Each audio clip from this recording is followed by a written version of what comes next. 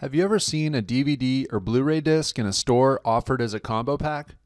If you're not familiar with this type of product, combo packs are simply DVD or Blu ray discs that also include a digital copy of a movie that you can watch on your computer or mobile device. You'll see a lot of Hollywood blockbuster movies offered this way, and with ProShow Producer, you can make your own combo pack in just a few steps. Let's take a look at how this is done. With the show open, the first thing you'll want to do is create the digital copy part of the combo pack. Let's switch over to the Publish workspace. Next, either click the video icon in the toolbar or the Publishing Formats pane, and then select Video for web, devices, and computers. Both will open this window. Now, let's choose the type of video that we want to create. As you can see, there are several built-in options to choose from. For this example, let's make a mobile version of our show that's optimized for an iPad.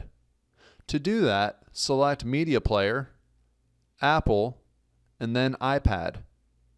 Down at the bottom of the window, set the profile to high to get the best quality for the show. When you press Create, notice that you'll be asked where you want to save the video. This save location is very important. The best thing to do is find your preferred location and create a new folder just for this video. Be sure to keep track of where you saved the video as you'll need to locate the folder later when creating your disk output. Once you press the save button, the mobile version of your show will begin rendering. After the mobile version has been created, it's time to create a DVD or Blu-ray version of your show.